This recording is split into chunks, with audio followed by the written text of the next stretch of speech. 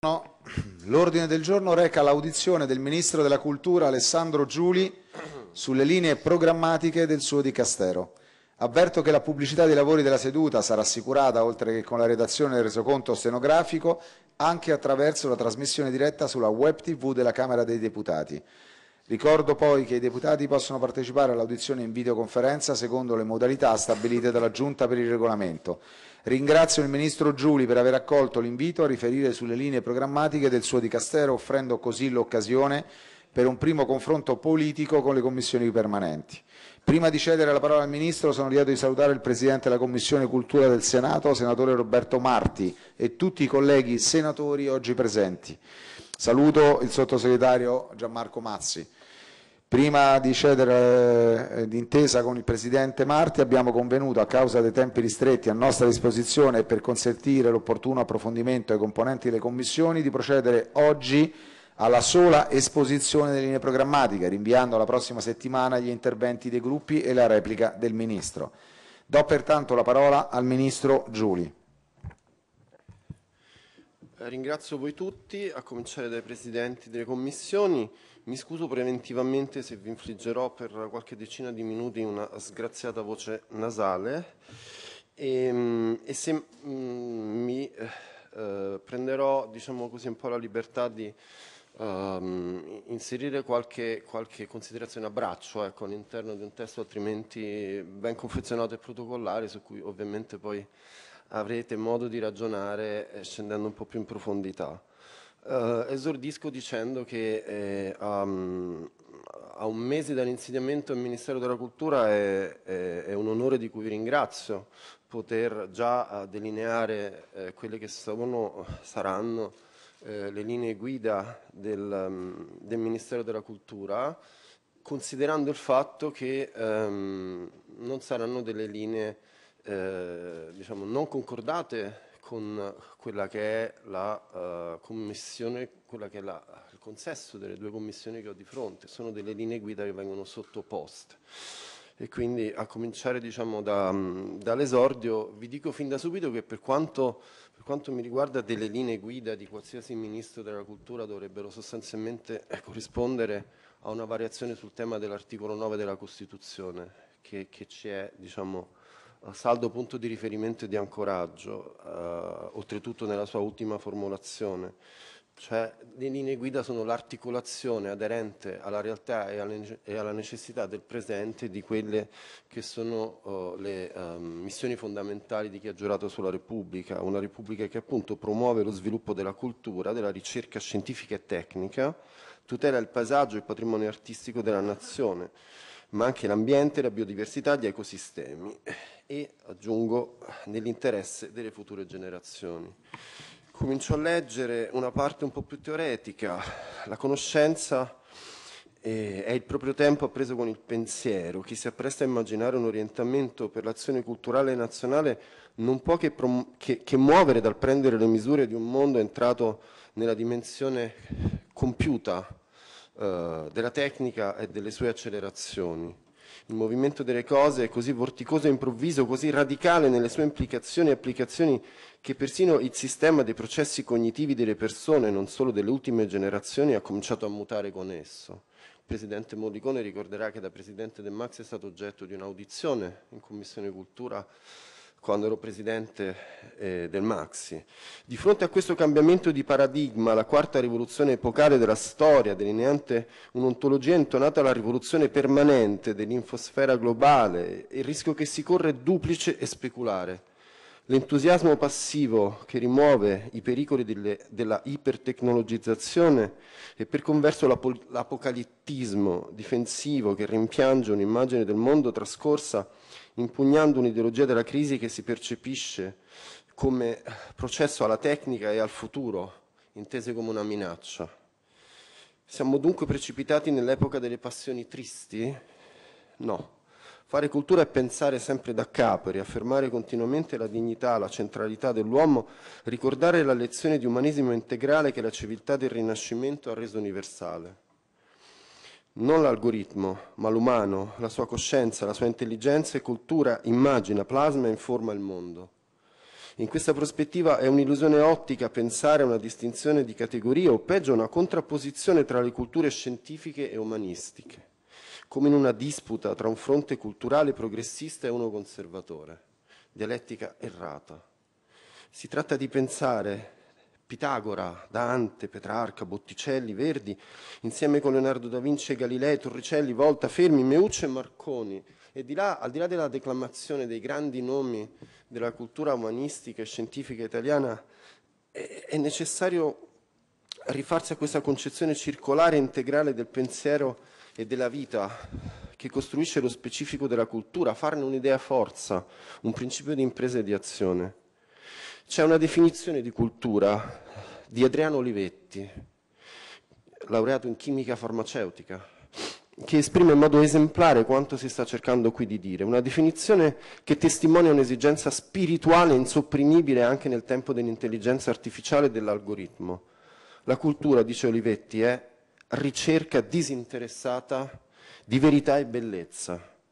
è una definizione che va lasciata risuonare, meditandone la profonda implicazione, cogliendo le forze che evoca ogni parola, ricerca, verità, bellezza. Non sono semplici termini, sono immagini potenti, idee forza, appunto, che vanno lasciate agire. Adriano Olivetti è stato un imprenditore, un intellettuale, un politico che non ha solo segnato una particolarissima stagione della storia italiana, ma che con la sua iniziativa ha piantato un fecondissimo seme di futuro nell'anima europea e italiana. Nella visione di Olivetti, lavoro, scienza e cultura sono i termini di un processo di sviluppo organico diffuso nelle comunità concrete di territorio, capace di mettere in connessione vitale le aziende, i servizi, la cultura, in una gestione della conoscenza come bene accessibile e comune. Ivrea, per tornare alla sfida dell'ipermodernità e della quarta rivoluzione scientifica e industriale, è il luogo dove è stato concepito il primo computer a transistor commerciale prodotto in Italia e uno dei primi completa, eh, completamente transistorizzati del mondo, ma al tempo stesso lo spazio politico e culturale, dove si è sperimentata e attuata la bellezza nelle fabbriche, il cinema, i libri per gli operai, gli scrittori nel management aziendale, l'architettura della luce, l'idea di socializzare senza statizzare o sovietizzare. Pratiche concrete di cultura integrata che dall'azienda Olivetti si riversava nella comunità, una concezione della dimensione culturale che diventa assolutamente centrale nei temi del lavoro, dell'innovazione, del rapporto tra ricerca della bellezza, dello sviluppo delle comunità, dei territori, un modello che Olivetti tentò di esportare fuori dai propri confini, fuori dal canavese, con l'insediamento produttivo di Pozzuoli a partire dal 1951, quando Olivetti dà a Luigi Cosenza l'incarico di realizzare, di realizzare uno stabilimento Olivetti affacciato sul Golfo di Napoli e a Matera con l'esperimento dei borghi rurali, due fuochi culturali accesi nel meridione. Olivetti, insomma, ha indicato un metodo consistente nel creare processi virtuosi di decentramento, lasciando emergere le risorse comunitarie dei territori, più in generale ha additato un'idea di cultura integrata, positiva, moderna, senza essere ideologicamente progressista, conservatrice, senza essere reazionaria, una cultura organica che crede nell'uomo, nella sua possibilità di elevazione e riscatto. E questa bella frase non è mia, ma è di Olivetti. La cultura intesa come sistema, stare insieme, sun istemi come modo di connettere in un orizzonte di senso compiuto uomo, natura e sviluppo sostenibile. Viene alla mente un altro grande maestro della cultura italiana, Paolo Portoghesi, recentemente scomparso, pioniere dell'architettura bioclimatica ed ecocompatibile, quella geoarchitettura che egli stesso definiva un'architettura umanistica, capace di imparare dalla natura e dalla storia, mirata all'innovazione, ma nella tutela degli equilibri della natura e della tradizione. E qui mi piace ricordare uh, una, una, lettera ricevuta da portoghesi nel momento in cui mi sono insediato alla presidenza del Maxi e um, si era diciamo, alla fine, alla fine del, del, 22 e, e, e Portoghesi mh, scrisse mh, una specie di, di, di, di legato ideale um, nei confronti no, non miei personali ma insomma della funzione che andava a ricoprire cercando di ricordare agli operatori della cultura, della politica, dell'impresa, quanto sia importante eh, connettere centro e periferia nel mondo della, della, cultura intesa come bene e nella sua funzione sociale superiore. l'idea di portoghesi delle città multicentriche, un'idea di filosofia del paesaggio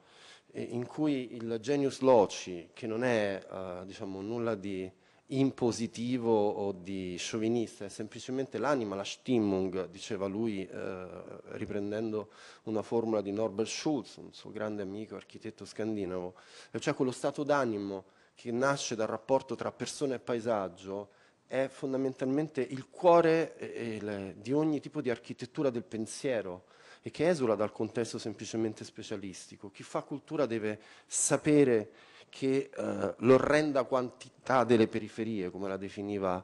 eh, Portoghesi, deve, deve, trovare una connessione con una concezione eh, in sideris forma, diceva lui, con una concezione multicentrica e stellare di, tu, di tutto ciò che è stata la grande storia dell'architettura italiana. E quindi interessarsi delle periferie senza più considerarle tali, prima che le periferie si riversino eh, con tutte le loro difficoltà e contraddizioni dentro quello che a volte con troppa superficialità chiamiamo centro storico e ZTL, è un elemento fondamentale nelle linee programmatiche di chi abbia a cuore la cultura come servizio pubblico. E, ehm, e, da queste linee di fondo l'universalità della civiltà italiana, il diritto d'accesso al sistema della produzione, della fruibilità dei beni culturali, la necessità di un sistema integrato tra centro e periferia, di collaborazione tra enti regionali e locali, tra pubblico e privato, che sono definite le linee programmatiche del Ministero in continuità con il lavoro fatto negli ultimi anni, naturalmente. Un Ministero che custodisce e promuove il patrimonio culturale più considerevole e importante del mondo i risultati di questo impegno sono stati finora molto,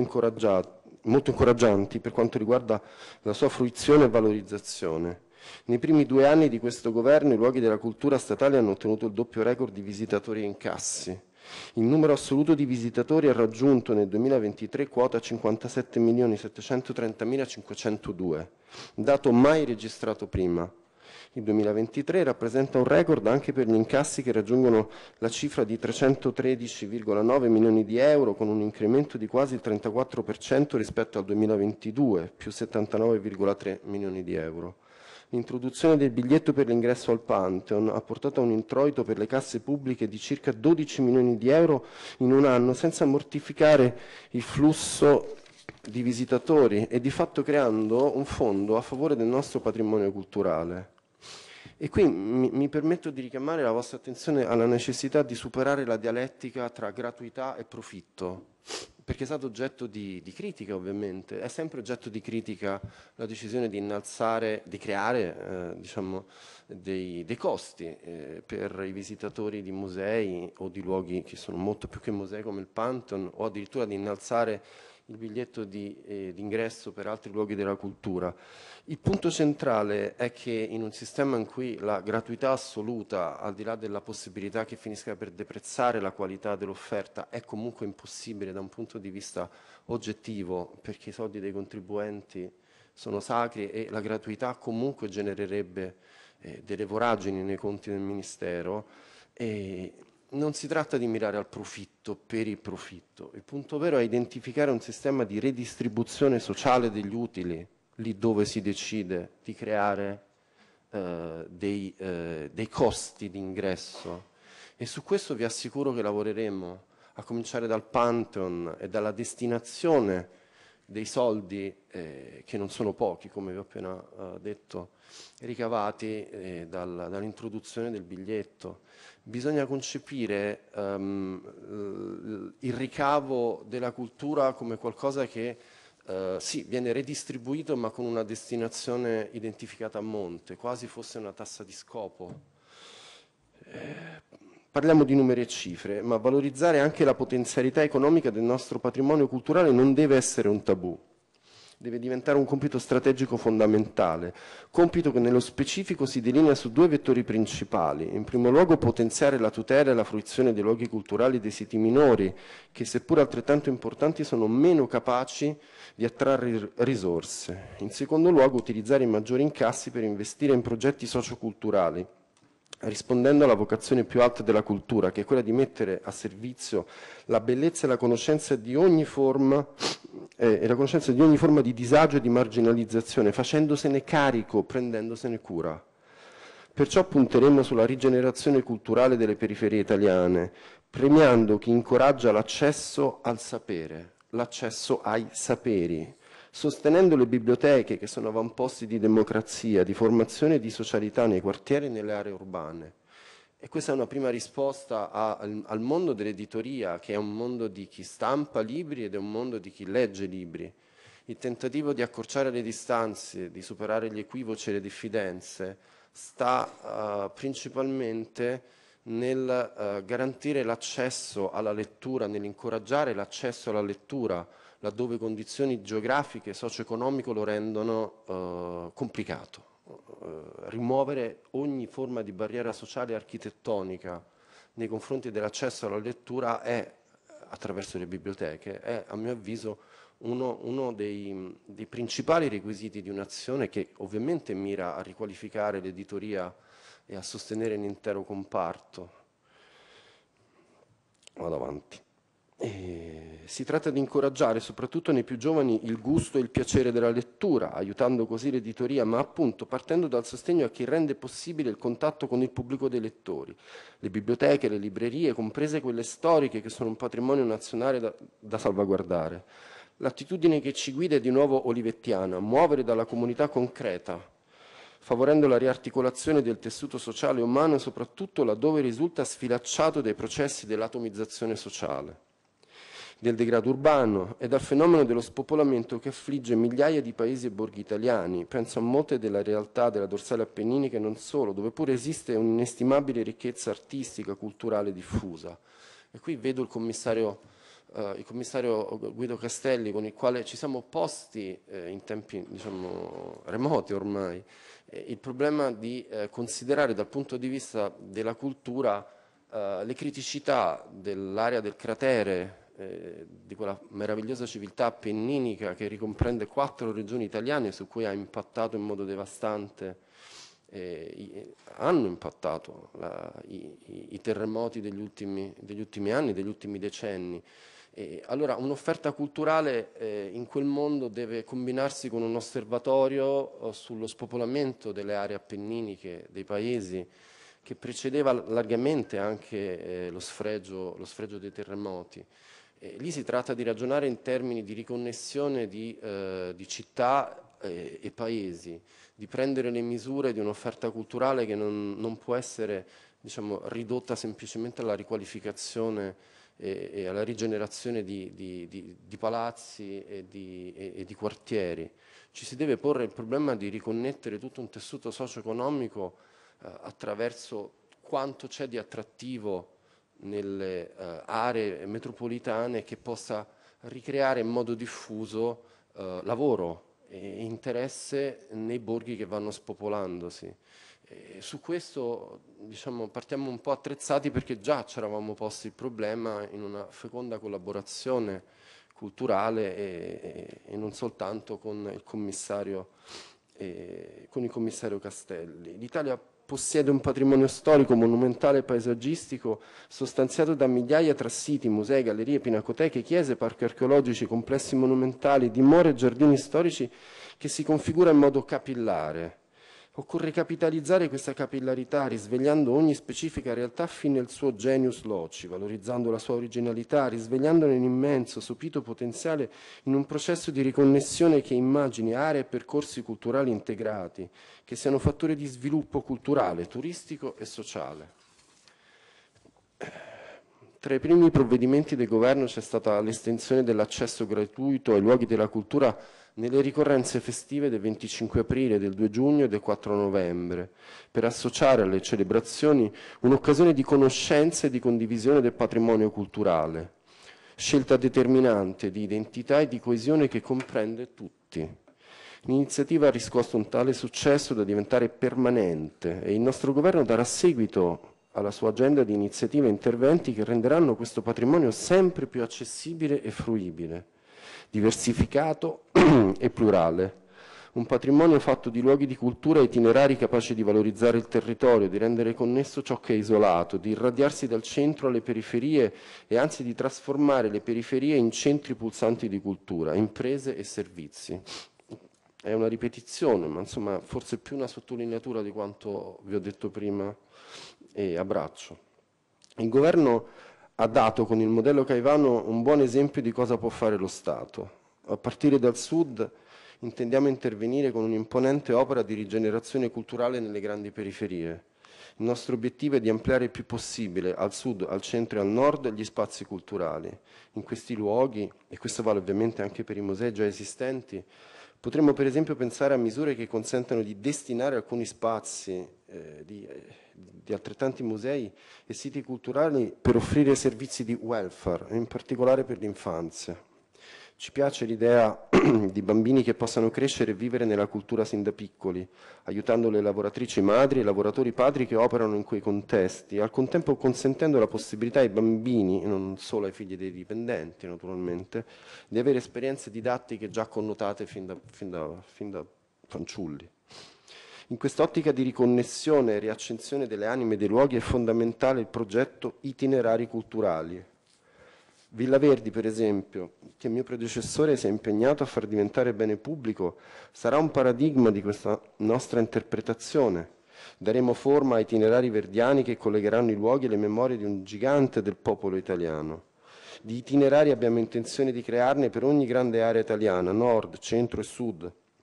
isole comprese naturalmente, da quello dedicato alle popolazioni originarie del settentrione, agli Etruschi, alla Magna Grecia, chiamando a collaborare a questa iniziativa coordinata dal centro, ma che avrà il suo protagonismo nei territori, gli enti locali, le università e naturalmente i privati. Nel 2024 l'Italia è diventata la prima nazione ad avere 60 siti iscritti nella lista del patrimonio mondiale, confermando la leadership mondiale davanti alla Cina. Il Comitato UNESCO ha infatti decretato la Via Appia Regina Viarum, patrimonio dell'umanità, itinerario simbolo della biodiversità culturale italiana e della sua capacità di collegare, unire e integrare. E altrettanto significativa è stata l'iscrizione dell'arte del canto lirico italiano come patrimonio immateriale dell'umanità UNESCO. Non c'è dubbio che i riconoscimenti UNESCO rappresentino un prezioso indicatore della leadership culturale italiana nel mondo, ma devono essere considerati anche e soprattutto come prezioso strumento di coesione sociale, civile ed economica dei nostri territori. L'Italia ha recentemente ospitato il G7, è stato il mio debutto. Gli incontri sulla cultura sono stati allargati anche a Brasile, Grecia, India, Unione Africana, UNESCO, ICROM. Si tratta di un risultato reso possibile da un prezioso lavoro di diplomazia culturale che deve diventare centrale e strategico anche dal punto di vista di una politica internazionale che sappia svolgere il proprio ruolo di mediazione, strumento di dialogo e di pace in un mondo percorso da guerre sempre più diffuse. Detenere un primato, il primato dei, dei siti iscritti nella lista del patrimonio UNESCO, non significa soltanto eh, potersene vantare, significa mettere al servizio eh, di luoghi meno, eh, meno, noti, meno ricchi, meno avvantaggiati, come avviene spesso nell'area mediterranea, africana in particolare, delle capacità di eh, valorizzazione che possano eh, indurre, confortare le strategie culturali dei paesi meno valorizzati è un modello esportabile come, come sistema di dialogo, di confronto, di incentivo affinché eh, i, i, paesi dotati di siti riconosciuti dall'UNESCO eh, siano in crescita piuttosto che nell'abbandono come in molti casi avviene in Africa. Il 2025 ci vedrà al lavoro su grandi mostre che andranno all'estero, mentre saremo impegnati nella semplificazione dei meccanismi, dei meccanismi, autoritativi per i prestiti internazionali e per l'utilizzo dell'enorme patrimonio che è custodito nei grandi depositi di opere d'arte. In questa strategia di proiezione sarà centrale il piano Mattei per l'Africa, dove si identifica nella cultura uno dei settori principali di intervento. L'Italia può mettere a disposizione dei governi africani le sue straordinarie competenze tecniche per la valorizzazione del patrimonio culturale africano in un'ottica di sviluppo e di crescita. Continueremo dunque a investire sulla Biennale di Venezia, naturalmente, e sul Sud Italia come ponte per il, per il Nord Africa, come, come strumento di creazione di corridoi culturali in tutto il Mediterraneo e nella più ampia strategia del piano Mattei. Taranto, con la cosiddetta uh, Biennale del Mediterraneo, che non avrà forse questa denominazione, ma sarà qualcosa di più importante ancora, insieme con Messina, dove già eh, il Maxi Med sta piantando le proprie radici in un dialogo fecondo, già strutturato ormai con gli enti locali. E saranno il fulcro di iniziative che irradiandosi in tutto il mezzogiorno esalteranno i profondi legami interculturali, interreligiosi, economici e commerciali con gli altri paesi e le altre regioni dell'area mediterranea oltre a consentire il potenziamento e la promozione della ricerca, sostenendo i talenti nel campo dell'arte, dell'architettura, della fotografia. E sulla fotografia sarà necessaria una particolare sottolineatura perché eh, il Ministero si, appresta a fare un, un, grande lavoro, un piano nazionale della fotografia che vedrà nel Mufoco un centro cardinale di valorizzazione sostenendo i talenti e su questo cammino sfrutteremo le buone pratiche già avviate con altre realtà, non, stiamo scoprendo nulla che già non fosse in essere ovviamente. L'impegno all'estero sarà centrale, indirizzato in collaborazione con il Ministero degli Affari Esteri e della Cooperazione Internazionale verso vari settori. Tra gli altri è doveroso ricordare quello che stiamo facendo per il patrimonio culturale ucraino. Non permetteremo, lo abbiamo promesso e lo stiamo dimostrando con i fatti, che l'arte e l'architettura, i tanti segni della cultura di un grande popolo europeo come quello ucraino, vengano distrutte dalla guerra. Mostre, musei, esposizioni di opere d'arte e luoghi inusuali all'estero saranno più in generale promosse in, in crescendo dal nostro Ministero. Ci impegneremo maggiormente a difendere l'arte dai pericoli del nostro tempo la sicurezza scusate, del patrimonio colpito per esempio dal, dai cambiamenti climatici eh, sarà al centro del nostro lavoro così come è stato al centro del, di tanta parte del dialogo del recente G7. Eh, servono consiglieri per la sicurezza. L'Italia diciamo, non ha avuto dai tempi di Palma Bucarelli, di Argan, di altre straordinarie figure neanche un piano per la messa in sicurezza delle opere d'arte in caso di eh, tragici eventi imprevisti, naturalmente di carattere bellico, oltre che di aggressioni da parte mh, diciamo, eh, di eventi atmosferici calamitosi. Continueremo a sostenere l'eccellente lavoro dei carabinieri del Comando Tutela del Patrimonio Culturale, i carabinieri eh, del TPC stanno facendo scuola nel mondo e sono un modello a cui si ispirano diversi stati. Tra le operazioni più importanti dell'ultimo anno c'è quella che ha permesso il recupero di 750 reperti archeologici rimpatriati da Londra, così come 60 reperti archeologici rimpatriati dagli Stati Uniti, con la significativa restituzione del prezioso incunabolo del 1493 in cui Cristoforo Colombo, al primo rientro dalle Americhe, descrive il suo viaggio ai reali di Spagna. Anche qui mi, mi permetto una piccola divagazione. Quando, quando si celebra ehm, la restituzione di grandi oggetti d'arte, ehm, di collezioni, eh, e lo si fa ovviamente eh, con una certa eh, magniloquenza, diciamo così, cerimoniale, eh, non si, eh, non, si, fa altro che dare eh, il dovuto ehm, cono di luce a, ai carabinieri che lavorano ogni giorno per misurare diciamo così, i rischi del nostro patrimonio. Quindi c'è sì, un lavoro di diplomazia culturale quando si tratta di grandi restituzioni che avvengono da musei internazionali attraverso accordi diplomatici e anche su questo stiamo lavorando e abbiamo lavorato nei bilaterali del G7, ma in generale non c'è l'idea diciamo, di eh, vetrinizzare, no? mettere in vetrina dei, dei, dei, beni culturali spesso antichi per bearsi eh, di questa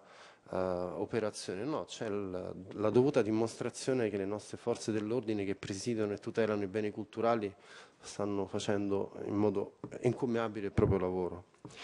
Allo stesso modo questo Ministero ritiene di proporre al pubblico anche gli artefatti unici che abbiamo prodotto nell'era della tecnologia, come i satelliti o addirittura gli strumenti di posa dei cavi sotterranei, che saranno molto prima di quanto immaginiamo parte degli allestimenti dei musei del futuro che racconteranno a chi verrà dopo di noi quest'era di transizione tecnologica, dove il genio italiano continua ad affermarsi anche nel design di componenti sulla scia dell'insegnamento di un grande scienziato come Guglielmo Marconi. Esiste un design industriale che giace nelle eh, collezioni di grandi imprese italiane e che merita di essere riscoperto, uh, sì, grandi grandi realtà che potrebbero divenire eh, diciamo così, eh, l'alimento di eh, esposizioni di quella che diciamo così, era una grande capacità di immaginare il futuro anche dal punto di vista estetico, con la tecnologia più sofisticata. Veniamo alle future generazioni e non soltanto. La cultura pervade ogni ambito della vita sociale, economica e civile e per questo vogliamo rafforzare i rapporti di collaborazione interministeriale. Ho in animo, siamo ancora a un livello diciamo così esplorativo, eh, di proporre ai ministri dell'istruzione, del merito, Giuseppe Valditare dell'Università della Ricerca Anna Maria Bernini, una sorta di piano di educazione integrato, un osservatorio interministeriale, la formula poi, poi si troverà e sarà migliore diciamo, di come ve la sto raccontando. Eh, l'idea nasce anche da alcune sollecitazioni ricevute da insigni eh, intellettuali italiani, pensate a Massimo Cacciari,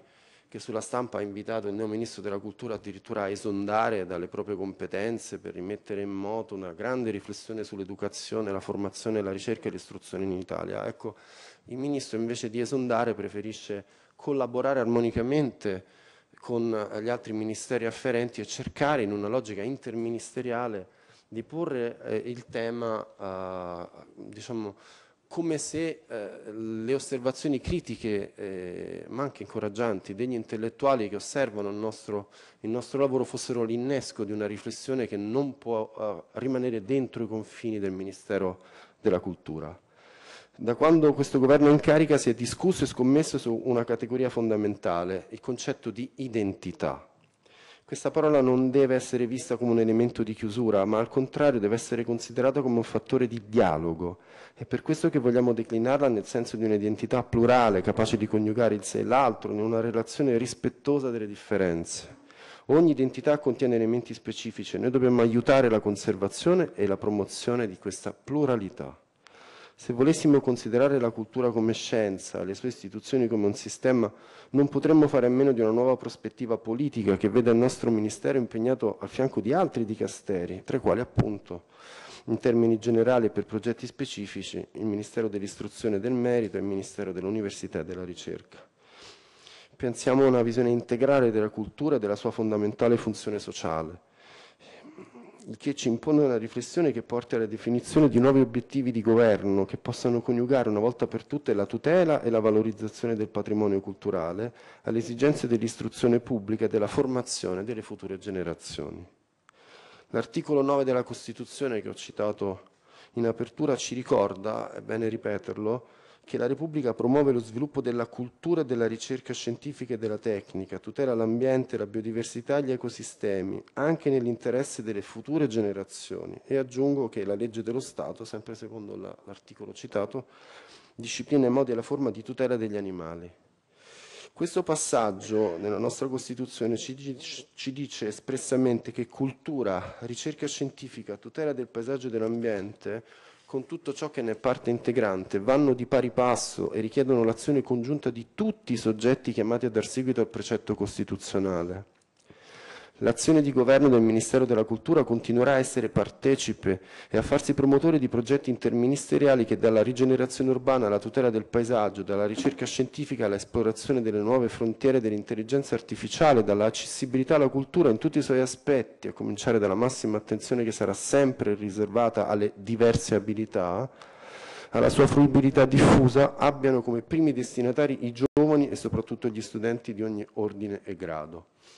E anche qui mi consento di ricordare quella che per me è la necessità di superare la, la, la dialettica uh, diciamo, tra uh, scienza e, e, doxa, diciamo, opinione eh, incoraggiata a volte da una fruizione un po' superficiale dell'infosfera. Eh, la scienza è conoscenza e la fiducia nella scienza è parte integrante del nostro dovere costituzionale. Poi c'è l'Italia profonda dei borghi, la conservazione dell'identità si attua, come si accennava, attraverso la tutela delle aree a rischio demografico. Conservare quel capitale di saperi e di identità plurali che rischiamo di perdere è fondamentale. Penso a quell'Italia colpita dal terremoto, di cui vi ho parlato poco fa, e, e penso alla necessità di eh, rivedere anche la, la lettura e il racconto che di noi stessi abbiamo fatto negli ultimi anni rispetto al pericolo sismico. Più volte ci siamo detti che il terremoto è la nostra origine, il nostro destino, il moto della terra, dobbiamo cercare di, eh, di, operare per una messa in sicurezza ovviamente delle aree dei luoghi, ma dobbiamo anche eh, riconoscere il fatto che eh, dobbiamo coesistere con i grandi eventi calamitosi come i terremoti cercando di Uh, non nascondere le cicatrici. Cito esempio, esempio, l'esempio di un museo che ho uh, felicemente ereditato, il Maxi dell'Aquila, dove le stratificazioni architettoniche di un palazzo del Settecento mostrano come è possibile mettere in sicurezza un palazzo storico senza uh, ricostruirlo com'era, dov'era, ma uh, facendo in modo che la grande qualità architettonica combinata con tutti i sistemi di, di messa in sicurezza del palazzo generino opere d'arte ulteriori rispetto a quelle che il terremoto ha distrutto. È una chiave di lettura completamente diversa che l'Italia ha già saputo valorizzare in alcuni luoghi. Pensate a, a quello che è stato fatto da intellettuali come, da, da, artisti come Mimmo Iodice, come Joseph Beuys, cioè tutti coloro che ci hanno detto che il terremoto è anche un modo per esprimere, irradiare, irraggiare eh, energia e capacità di rigenerazione. E questo ha un, una forte ricaduta in termini di visione architettonica, urbanistica e culturale in senso, in senso lato. Tornando ai borghi, l'obiettivo del bando borghi del PNRR, da pochi mesi sono state finanziate per sostenere le attività economiche nei 294 comuni del Piano Nazionale Borghi, quasi 2.800 fra micro, macro e medie imprese. A partire dal 2026, come sapete, sarà assegnato il titolo della capitale italiana dell'arte contemporanea un nuovo riconoscimento istituito per incoraggiare e sostenere la capacità progettuale e attuativa delle città italiane nel campo della promozione e valorizzazione dell'arte contemporanea attraverso la realizzazione e la riqualificazione di spazi e aree dedicate alla fruizione, affinché venga recepito in maniera sempre più diffusa il valore della cultura per la formazione delle identità nazionali, per la coesione, l'inclusione sociale, l'integrazione, la creatività, l'innovazione, la crescita, lo sviluppo economico e il benessere individuale e collettivo.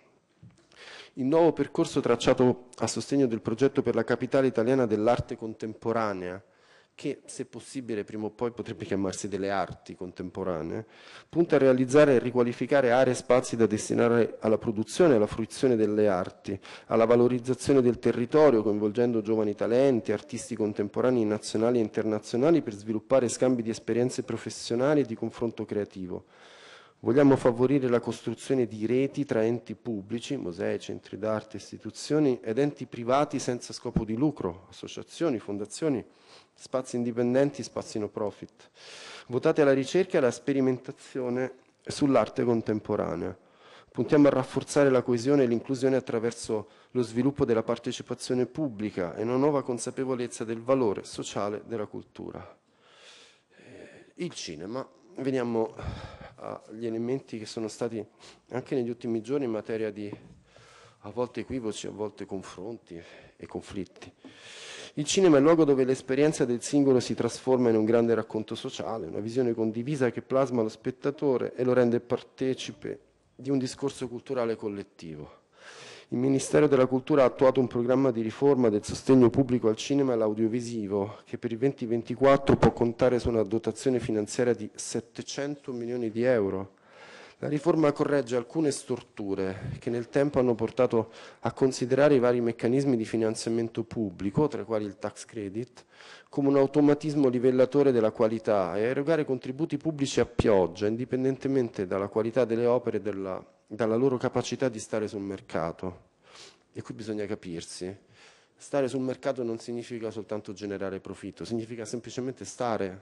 stare lì dove eh, i, tele, i, telespettatori nel caso della televisione, ma sono dove, dove, gli spettatori nel caso del cinema cercano di vedere un film. Eh, sappiamo benissimo che ci sono circostanze in cui eh, la cultura si pesa e non si conta, è evidente, ma dobbiamo anche eh, recepire le istanze che vengono dalla maggior parte del, del settore dell'audiovisivo e che chiede, ha chiesto e del resto ha ottenuto con una legge specifica una messa in ordine dei meccanismi di selezione. E dunque ci sono state delle distorsioni che hanno consentito di finanziare opere qualitativamente discutibili, diciamo, o pellicole proiettate in orari eh, perlomeno clandestini in taluni casi, eludendo obblighi di programmazione eh, specifici e, e pubblici. La riforma prevede controlli più stringenti, sanzioni più severe per chi viola le regole, introduce alcune novità importanti. Eh, l'introduzione di bandi selettivi di un fondo per il 2024 di 52 milioni di euro per opere audiovisive capaci di valorizzare, promuovere e diffondere l'identità culturale della nazione è un segno di forte incoraggiamento nei confronti del comparto dell'audiovisivo. La riforma si pone un duplice obiettivo, da un lato rafforzare la qualità e la diversità culturale delle opere e delle iniziative sostenute, dall'altro accrescerne la diffusione presso un pubblico nazionale e internazionale. Lo scorso 14 agosto è stato pubblicato il nuovo decreto interministeriale adottato dal Ministro della Cultura di concerto con quello dell'Economia e delle Finanze, contenente le disposizioni applicative in materia di credito d'imposta per le imprese di produzione cinematografica e audiovisiva. Inoltre, ecco il punto, sono addirittura d'arrivo i decreti direttoriali che contengono le specifiche tecniche riguardanti gli aspetti attuativi del richiamato decreto interministeriale, la definizione delle spese istruttorie da versare per la presentazione delle domande, le modalità di certificazione dei costi, i requisiti di circuitazione cinematografica, le caratteristiche che qualificano le primarie società di distribuzione cinematografica, le modalità per assicurare il rispetto della copertura finanziaria, la documentazione da allegare in occasione della presentazione delle domande. Tutto ciò ad ascoltarlo può sembrare un aggravio di burocrazia e invece eh, ci accorgeremmo leggendo i decreti direttoriali che si tratta dell'esatto contrario, cioè di un tentativo di semplificazione pur nel rigore, nell'ordine, eh, ma di semplificazione autentica nei confronti del mondo, del mondo cinematografico e audiovisivo e, e prossima finalmente l'apertura della piattaforma che consentirà di accogliere la presentazione delle domande di tax credit, produzione secondo le modalità previste dal nuovo decreto, in modo da concretizzare il supporto a un settore così strategico per il nostro Paese.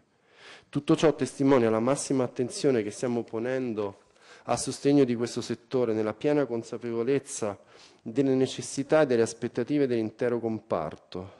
Come ho già avuto modo di dire, e, e sento di ribadire, abbiamo il dovere di schivare due rappresentazioni estreme e false al contempo. Da una parte che il tax credit possa essere il super bonus per un mondo assistito da un reddito di cittadinanza cinematografico, non è così e non può essere così. L'altro estremo è che il Ministero della Cultura abbia dei pregiudizi ideologici verso una catena del valore culturale che dà lavoro, prestigio e reputazione globale all'Italia. Tutt'altro, L'idea è di rendere più semplice e trasparente l'accesso al credito, nella consapevolezza che non esiste una norma che non sia perfettibile una volta misurata la sua efficacia sul campo. L'impegno del governo per il cinema continuerà, continuerà con la massima dedizione, riservando la massima attenzione agli artisti e ai professionisti di talento, ma anche a quelli senza talento, ai lavoratori onesti e competenti contro ogni stortura, abuso e privilegio. Veniamo allo spettacolo dal vivo. Le attività di spettacolo dal vivo sono parte fondamentale del nostro patrimonio culturale e artistico e mi riferisco anche alle rievocazioni storiche su cui il Presidente Mollicone ha svolto un lavoro, diciamo, si è concretizzato in una, in una legge che finalmente ci mette in condizioni di operare con la massima celerità e buona disposizione d'animo. Il Ministero della Cultura ha un ruolo centrale nelle misure di coordinamento, incentivazione e promozione anche sul piano internazionale e ausilio finanziario di tali attività, dalla musica al teatro, dalla danza alle rievocazioni storiche ai carnevali, dai circhi agli spettacoli viaggianti, la gestione del Fondo nazionale per lo spettacolo dal vivo rappresenta una priorità utile a sostenere le 14 fondazioni lirico-sinfoniche e i circa 1500 organismi che operano nei settori del teatro, della musica, della danza delle arti circensi e non soltanto. Le risorse per il 2024 ammontano a oltre 423 milioni di euro, incrementate di ulteriori 23 milioni di euro, ai quali si aggiungono le risorse extra Fondo Nazionale per lo Spettacolo dal Vivo per i carnevali storici, 3 milioni, per festival, cori e bande, 3 milioni e per le rievocazioni storiche di cui vi ho appena detto, 2 milioni. Guardando al futuro e considerando lo spettacolo dal vivo come fattore di cultura ma anche come strumento di socialità, come fattore economico dell'industria, irrinunciabile fattore economico dell'industria culturale nazionale ci concentreremo su importanti obiettivi strategici. Continueremo a monitorare il percorso di risanamento delle fondazioni lirico-sinfoniche, grazie finalmente alla finalizzazione del nuovo contratto collettivo nazionale del lavoro, autenticato proprio ieri dalla Corte dei Conti, che ne dà certificazione positiva ponendo fine a una situazione di indecidibilità e precarietà che si era prolungata a lungo negli anni e di questo va dato atto al sottosegretario Mazzi e di aver fatto un lavoro straordinario in tempi relativamente ristretti. E dunque la, la, finalizzazione avvenuta del nuovo contratto collettivo e l'introduzione e il rafforzamento delle moderne tecniche di comunicazione e marketing che aiutino a sostenere il settore. Finalizzeremo il decreto legislativo di attuazione alla legge 106-2022 recante delega al governo e altre disposizioni in materia di spettacolo che consentirà il riordino e la revisione degli strumenti di sostegno in favore dei lavoratori dello spettacolo nonché il riconoscimento di nuove tutele in materia di contratti di lavoro di equo compenso per i lavoratori autonomi del settore. Sosterremo in tutti i modi possibili il teatro, la danza e la musica con particolare attenzione alle potenzialità delle arti performative, quale strumento di rigenerazione e di riqualificazione delle aree periferiche, in tutte le loro dimensioni, dalla formazione delle nuove generazioni al supporto dei professionisti, fino all'incoraggiamento della fruizione più ampia di questo straordinario patrimonio di bellezza porteremo avanti, anche attraverso l'utilizzo dei fondi del PNRR, interventi di efficientamento energetico nei luoghi della cultura, favorendo la fondamentale azione di transizione ecologica. Si tratta di cose già in essere, naturalmente, e che cercheremo di eh, portare avanti con maggiore energia e con maggiore attenzione. E arriviamo alla poesia e ad altro. Negli ultimi due anni abbiamo eh, avviato grandi progetti, tra gli altri a Milano Palazzo Citterio non sarà più il simbolo di un degrado durato oltre 50 anni. Fra un mese l'edificio finalmente aprirà al pubblico e ospiterà le collezioni contemporanee della Pinacoteca di Brera. Le gallerie degli Uffizi diventeranno diffuse per valorizzare il patrimonio custodito nei depositi. Centrale sarà a Napoli l'ex albergo dei poveri, ma lo sapete da prima e meglio di me che diventerà una delle più grandi infrastrutture culturali d'Europa. Con 130 milioni di euro sarà realizzato uno spazio immenso di oltre 100.000 metri quadri che ospiterà la succursale del Museo Archeologico Nazionale di Napoli, una biblioteca moderna, una scuola di specializzazione dell'Università Federico II, oltre a eventi culturali di livello internazionale. Racconteremo la storia di Roma e quindi d'Italia, potendo in un luogo centrale, la cripta Balbi a Via delle Botteghe Oscure.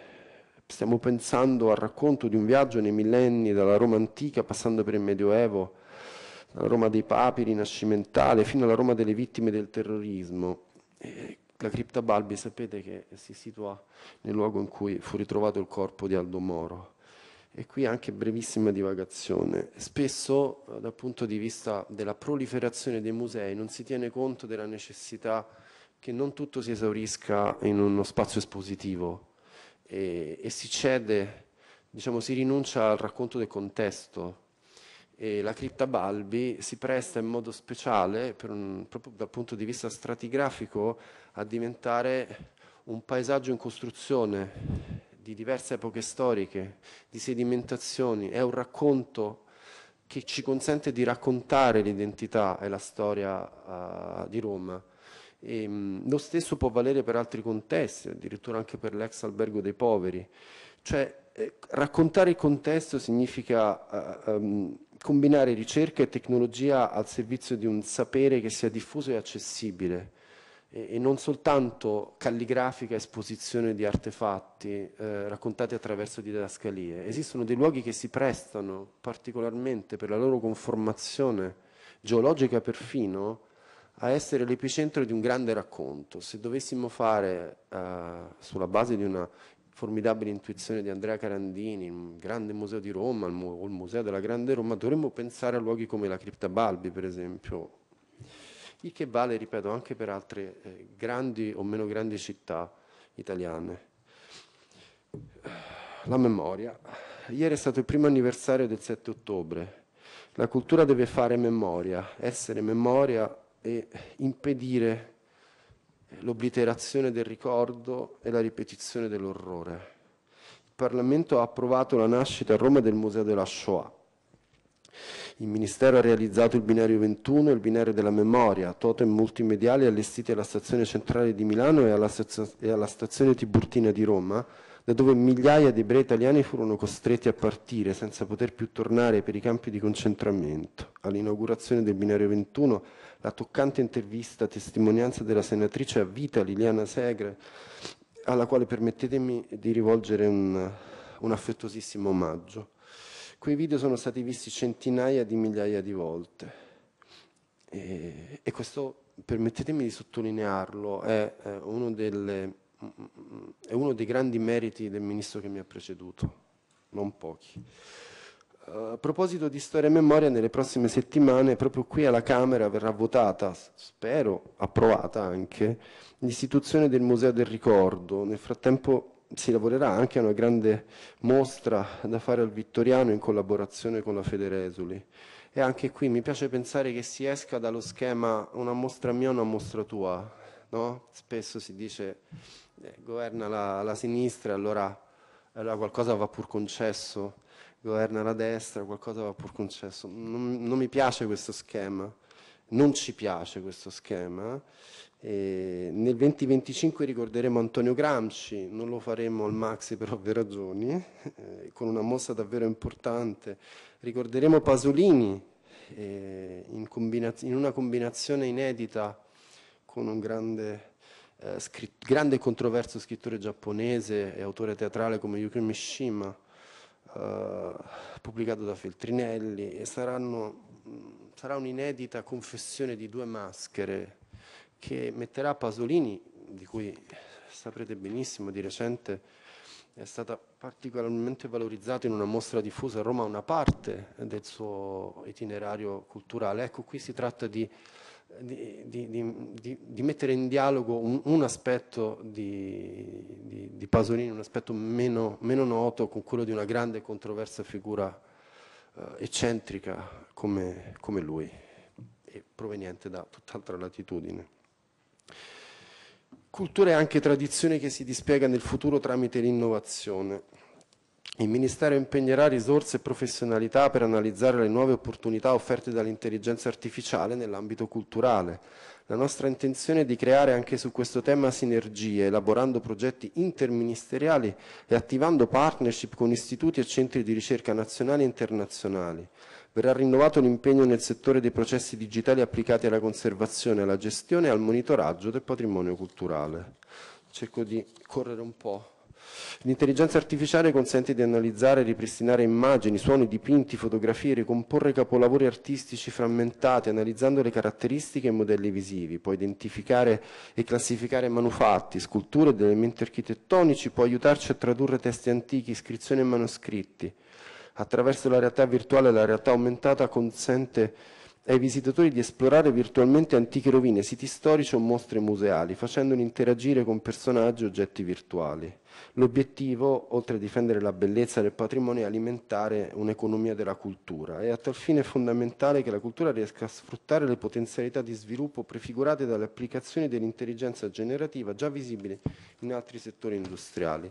Pensiamo a, al recente ehm, gemellaggio tecnologico tra il Vittoriale e, e, il Maxi che, che, qualcuno ha trovato un po' distonico e che in realtà poi se proiettato in realtà come, come l'Abruzzo per esempio, come avverrà, può diventare un modello di fruizione di conoscenza del vittoriale degli italiani nei luoghi in cui eh, D'Annunzio ha vissuto, ha creato, è stato ispirato. Questo è un modello che naturalmente può valere per molte altre realtà, cioè creare una connessione virtuale tra musei consente eh, di eh, valorizzare poi anche gli enti locali, i comuni le biblioteche che eh, attraverso gli strumenti tecnologici eh, riescono realmente a connettersi visivamente e plasticamente con luoghi altrimenti inaccessibili alla maggior parte dei, dei cittadini, dei borghi e delle realtà più piccole. Crediamo nel nostro patrimonio culturale come fondamento dell'identità nazionale, motore dell'economia, vetrina internazionale dell'Italia e strumento di politica estera. Ma questo patrimonio funziona se i lavoratori, professionisti, tecnici, esperti, addetti di ogni livello sono riconosciuti e valorizzati come meritano. Dal punto di vista dell'organizzazione strutturale del Ministero intendiamo procedere in continuità con il lavoro sviluppato negli ultimi due anni con il quale si è avviato un procedimento assunzionale, che è un'espressione terribile, però dà la misura comunque sia di, di una buona pratica, che ha visto l'inserimento nei ruoli di 4.205 unità, che vedrà l'ingresso di ulteriori 1.400 unità entro la fine dell'anno. È del resto intenzione di questo Ministero programmare un ulteriore reclutamento di risorse che possa garantire un passaggio di conoscenze nelle funzioni tra i lavoratori presenti e i futuri neoassunti con l'obiettivo di massimizzare l'esperienza acquisita all'interno dell'amministrazione ai fini di una maggiore efficacia ed efficienza del Dicastero e soprattutto garantendo la non dispersione dell'ingente e variegato bagaglio di competenze tecniche possedute all'interno. L'obiettivo è quello di dotare il Ministero di maggiore, nuova e consapevole linfa vitale non solo per gestire al meglio le quotidiane attività ministeriali, ma soprattutto anche grazie all'istituzione dei nuovi profili professionali per garantire l'adattamento sempre maggiore del personale con le novità tecniche e tecnologiche che stanno investendo e trasformando la società contemporanea.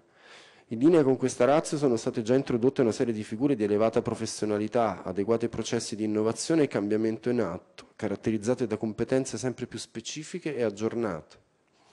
attinenti al vasto contesto che ci troviamo a regolare e in particolar modo avente una funzione di raccordo, coordinamento e promozione dell'attività di diverse unità. Particolare attenzione sarà dedicata al benessere organizzativo e allo sviluppo, puntando strategicamente alla crescita professionale di tutto il personale, sia in un'ottica di riqualificazione sia in un'ottica di crescita. A nostro avviso la centralità del benessere organizzativo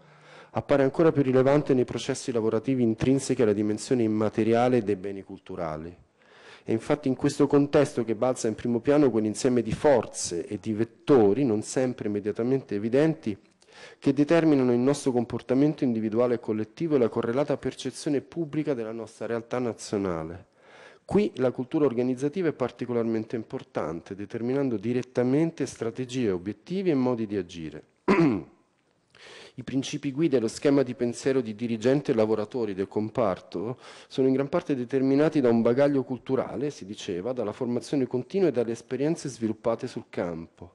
E se si vuole rendere un'organizzazione complessa, quale quella del Dicastero, sempre più virtuosa, efficiente ed efficace, si deve puntare con determinazione sul ruolo giocato dalle stesse ricadute della cultura in ambito organizzativo. In questa chiave l'amministrazione mira alla formazione continua e alla valorizzazione del personale, ai fini di consentire la massima espressione del proprio potenziale. Mi sto avviando a conclusione, ve lo prometto. Uh, venendo così a creare maggiore valore pubblico in un'ottica di ottimizzazione della performance lavorativa al servizio della missione del Ministero. A tal fine verrà, eh, sarà prevista nello specifico l'istituzione di un sistema automatizzato per la gestione delle attività formative, con la possibilità di creare dei percorsi individuali per una formazione a misura d'uomo che possa fungere da reale sostegno e stimolo per l'accrescimento delle competenze del singolo lavoratore. Dal 2025, infine, stiamo lavorando per introdurre l'assicurazione dei lavoratori welfare e sarà potenziato il fondo destinato alla valorizzazione del personale. E questa è una notizia forse un po' più concreta, diciamo, rispetto a tante parole che avete ascoltato da me finora. Entrando nel merito della macchina ministeriale, siamo ora giunti al momento dell'attuazione della riforma avviata all'inizio della legislatura. Il decreto di riorganizzazione del Ministero ha previsto il passaggio dalla struttura segretariale a quella dipartimentale, con la finalità di migliorare l'esercizio delle funzioni. Eh? Ditemi eh, se sto abusando. No, no, no ah, e renderne più agevole l'esercizio. Ciascuno dei quattro dipartimenti esercita in modo più efficace e rapido la funzione di coordinamento dei compiti attribuiti alle direzioni generali afferenti. Un apposito strumento di raccordo, la conferenza dei capi di dipartimenti presieduta dal Ministro, assicura il coordinamento e la programmazione delle attività amministrative nell'ottica del raggiungimento degli obiettivi fissati dall'organo di indirizzo politico È di pochi giorni fa la registrazione da parte della Corte dei Conti del decreto ministeriale che reca l'articolazione degli uffici dirigenziali e degli istituti dotati di autonomia speciale di livello non generale del Ministero, con il quale sono state ridefinite la struttura e le funzioni degli uffici centrali, periferici e autonomi, in coerenza con il nuovo assetto organizzativo delineato dal regolamento. Esso prevede dei servizi del Dipartimento per l'amministrazione generale che oltre alle competenze relative alle risorse umane e a quelle di bilancio, programmazione e monitoraggio, comprende le nuove direzioni generali per gli affari europei e internazionali e per la digitalizzazione e la comunicazione. Con la riorganizzazione vengono potenziate le funzioni del Dipartimento per la tutela del patrimonio culturale, cui sono ricondotte le competenze in materia di archeologia, belle arti e paesaggio, archivi e beni librari nonché di sicurezza del patrimonio culturale, con l'istituzione di servizi di staff e l'assegnazione di istituti autonomi prima non afferenti alle strutture di tutela. Al Dipartimento per la tutela afferisce gran parte delle strutture periferiche del Ministero che costituiscono insieme ai musei il cuore dell'apparato statale radicato nel territorio, Soprintendenza Archeologia, Belle Arti e Paesaggio, Soprintendenze Archivistiche e Bibliografiche, Soprintendenze Archivistiche e Archivi di Stato. Le attribuzioni degli uffici periferici sono state oggetto di minime rimodulazioni volte a razionalizzare l'assetto nel rispetto delle specificità territoriali, come nel caso di Taranto, no? dove è scoppiato un piccolo caso, uh, un fraintendimento sulla uh, possibilità in realtà totalmente assente che la soprintendenza che si occupa di archeologia subacquea e di tutela uh, potesse essere spostata, no, nulla di tutto ciò. La riforma ha inoltre previsto il rilancio delle funzioni di valorizzazione anche economica del patrimonio culturale con l'ampliamento dei musei, parchi archeologici e altri luoghi della cultura di rilevante interesse nazionale dotati di autonomia speciale ora divenuti 60, l'attribuzione dell'autonomia speciale anche alle direzioni regionali, musei nazionali e la creazione dell'Istituto centrale per la valorizzazione economica del patrimonio culturale. Il Dipartimento per le attività culturali riunisce le funzioni in materiale eh, di spettacolo, cinema audiovisivo, creatività contemporanea, biblioteche e istituti culturali accomunati dalla gestione trasversale delle competenze in materia di diritto d'autore. La nomina dei capi dei dipartimenti, perfezionata nel mese di luglio scorso, sarà seguita dall'imminente avvio delle procedure per il conferimento degli incarichi dirigenziali di livello generale e successivamente di quelli di livello non generale che andranno a comporre il quadro del nuovo assetto del Ministero. È mia intenzione accompagnare in modo vigile ed efficiente, se ci riesco, lo svolgimento di questo delicato processo in modo da assicurare il massimo supporto agli uffici centrali e periferici più direttamente investiti dalle innovazioni. È una fase di transizione, lo sappiamo. Ciò è possibile soltanto attraverso il coinvolgimento di tutto l'apparato nell'attuazione concreta della riforma per garantire l'operatività degli uffici e in definitiva la legittimazione dell'operato dell'amministrazione del patrimonio cultura nei confronti di tutti i portatori di interesse, dalle istituzioni pubbliche ai soggetti privati, dagli enti territoriali agli istituti di ricerca, dai cosiddetti stakeholders sociali alla società civile in senso lato forse ho dato, pur avendo parlato non poco, ho dato poco risalto ad altri temi chiavi nel mondo culturale, chiave nel mondo culturale, eh, però insomma al racconto del mondo del libro, delle biblioteche e degli archivi su cui avrei potuto e vorrei diffondermi, ma sostanzialmente più con fatti che con eh, declamazioni e qualcosa ho, ho già fatto capire alla vigilia della Bookmesse di Francoforte, ci predisponiamo a intensificare il dialogo e a dare risposte concrete a tutto il settore dell'editoria. Ma penso anche all'importanza dei festival culturali, agli eventi dedicati alle religioni, tutte, nessuna esclusa, a tutta la ritualità che caratterizza la dimensione comunitaria delle feste popolari italiane, tutto ciò che è forza aggregante e, e che crea e promuove eh, socialità, Avrei voluto parlarvi di come il Ministero si confronterà con fenomeni culturali sempre più presenti nella quotidianità dei cittadini. Una terra semi-incognita ma molto importante a mio giudizio, la cultura dei videogame, del gaming, eh, il, il, il rapporto con i social network. Arriverà il momento in cui dovremo confrontarci in modo più compiuto con tutto ciò. Siamo al lavoro per creare un progetto unitario e reticolare di interventi per dare all'Italia una governance in grado di consolidarne il posizionamento e una magnitudo che la rendono unica nel mondo. Chiudo, chiudo eh, riconoscendo in questa occasione e nel ringraziarvi eh, quella che eh, si definisce la cosiddetta centralità del Parlamento. Questa è l'illustrazione di linee guida in due commissioni riunite che hanno il diritto e il dovere di eh, presentare critiche, rilievi che sono benedetti e bene accetti, perché la potestà del potere legislativo rende, eh, rende esecutivo il potere di un governo e responsabilizza eh, il ministro uh, competente. Quindi insomma, il dialogo uh, non può ridursi, a mio giudizio, a un'esposizione con, uh, pri priva diciamo, di una misurazione comune poi di quelli che saranno e spero siano Uh, i risultati concreti delle linee guida che vi, ho, che vi ho appena presentato. La via del confronto c'è sempre per chi vuole percorrerla. Grazie. Grazie, ringraziamo il Ministro Giuli per l'esauriente esposizione e rinviamo il seguito dell'audizione ad altra seduta. Grazie.